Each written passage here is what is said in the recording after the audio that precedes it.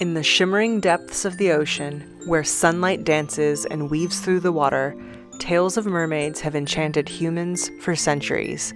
These mystical beings, with the upper body of a human and the tail of a fish, are often revered as symbols of beauty, freedom, and transformation.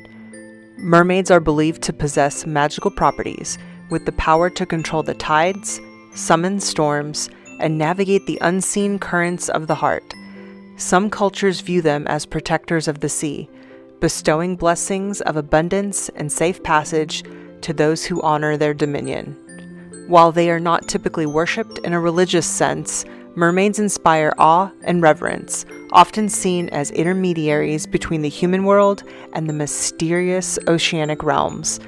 To communicate with these enchanting creatures, seekers often engage in rituals by the water's edge, crafting offerings of seashells, pearls, and songs carried on the wind. These acts of devotion are thought to invite mermaids' guidance, fostering a, a mystical connection that transcends the mundane, allowing the seeker to tap into the deep well of intuition and emotional wisdom that mermaids are said to guard.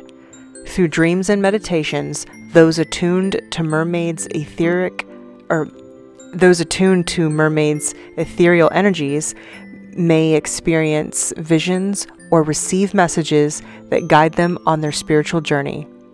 In the gentle whispers of the waves and the soft lullaby of the sea, the presence of mermaids continues to weave magic into the fabric of our world.